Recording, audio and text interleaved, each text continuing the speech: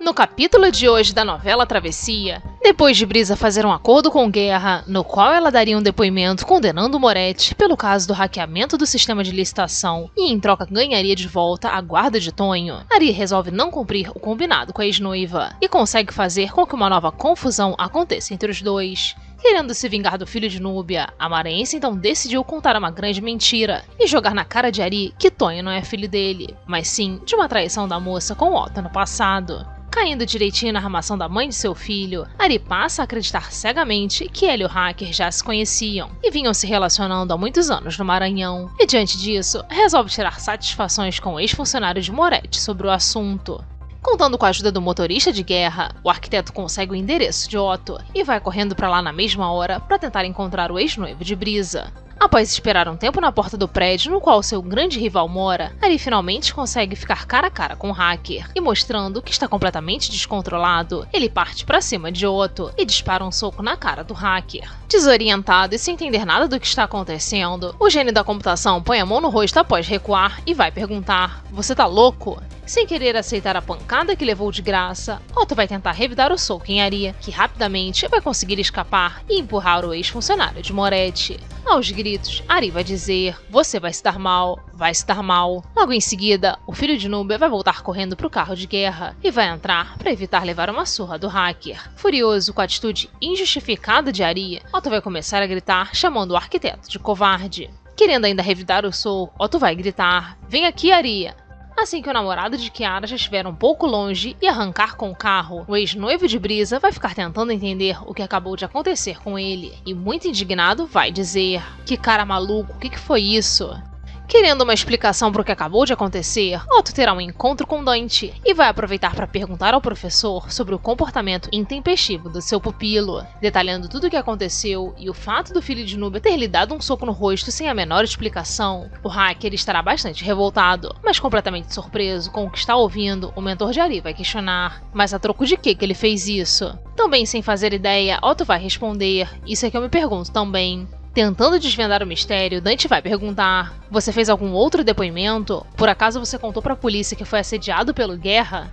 Otto então vai negar todas as possibilidades, e os dois vão ficar ainda sem entender o motivo da agressividade de Ari com o ex-noivo de Brisa. Chegando em casa, Ari não vai conseguir esconder toda a adrenalina que está sentindo por conta do que acabou de acontecer entre ele e Otto. Ao ver seu namorado bastante exaltado e aparentando ter feito alguma loucura, Kiara vai partir para cima dele e vai questionar: O que, que aconteceu, Ari? Por que, que você tá desse jeito? Aconteceu alguma coisa? Retrucando e ainda muito nervoso, o arquiteto vai contar para a filha de guerra que foi atrás de Otto e que deu uma boa surra nele por conta da traição de Brisa. Cansada de ver seu namorado arrumar confusão por conta da ex-noiva, Kiara vai começar a discutir com Aria por conta da maranhense. E mais uma vez, os dois vão acabar brigando. Muito irritada, a filha de guerra vai dizer: De novo, por causa dessa brisa, Ari, quando é que você vai esquecer ela de vez? Eu não aguento mais viver com você e ouvir o nome da brisa o tempo todo. Tentando justificar o ódio que está sentindo, Ari vai dizer para Patricinha que a afilhada de Creuza disse na cara dele que ela vinha tendo um caso com Otto há muito tempo e que Tonho é fruto de uma relação entre os dois no passado. Sem dar a mínima para os argumentos usados pelo arquiteto, Kiara vai dizer que tudo que ela quer é que Ari esqueça de uma vez por todas a ex e que nunca mais fale o nome dela em sua frente. Mas antes de continuar, me conta aqui nos comentários o que, que você tá achando da novela das nove da Globo. Que nota que você dá pra Kiara na novela Travessia? Você acha que nesse caso Kiara tá certa e que Ari deveria ter esquecido Brisa há muito tempo? Será que Ari ainda é totalmente apaixonado por Brisa? Aproveite também e me conta nos comentários qual é o seu nome e a cidade de onde você está assistindo o nosso resumo. E não esqueça de deixar o seu like no vídeo e se inscrever aqui no nosso canal. Sabendo que Gil já descobriu seu grande segredo sobre o roubo das ações que estavam no nome de Kiara, Ari vai ficar muito preocupado que o ex-namorado de Talita acabe revelando tudo o que sabe sobre ele. O arquiteto então vai decidir ter uma nova conversa com o jornalista para tentar averiguar se corre algum risco de Gil dar com a língua nos dentes. Conversando com o um amigo, Arinda vai tentar contar com a ajuda de Gil para justificar o motivo de ter mandado Kiara assinar algumas folhas em branco, e vai inventar que na verdade era apenas para o jornalista ter acesso ao estacionamento do clube. Mas mostrando que não está disposto a participar das armações do filho de Núbia, Gil logo vai cortar Ari e vai dizer: Eu não quero ser juiz de ninguém, Ari. Cada um faz o que acha que deve fazer, mas eu não me sinto nem um pouco confortável participando disso. Eu também tenho as minhas ambições e não são poucas, não. Você me conhece, você sabe. Mas para isso, cada um tem um jeito de chegar lá, não é? E esse aí, Ari, não é o meu jeito. Mostrando que é muito mais ganancioso do que Gil imaginava, Ari vai argumentar dizendo que seu amigo está errado. E explicando o motivo, ele vai dizer: cada um tem o seu jeito, mas não tem muito jeito de chegar lá, não, Gil, e tu sabes disso. Tu sabes que ninguém derruba um elefante com estilingue. Rebatendo a afirmação do arquiteto, Gil vai responder: Mas é essa a diferença. Ari, eu não quero derrubar o elefante. Eu não quero crescer às custas de derrubar ninguém. Não acho que uma pessoa que está acima de mim esteja tomando meu lugar. Essa pessoa tá ali simplesmente porque ela se esforçou para estar ali, ela trabalhou para isso, para estar ali. Deixando claro que está com muito medo de acabar sendo derrubado pelo ex-namorado de Talita, Ari vai dizer: "Eu tô até ficando com medo de ti".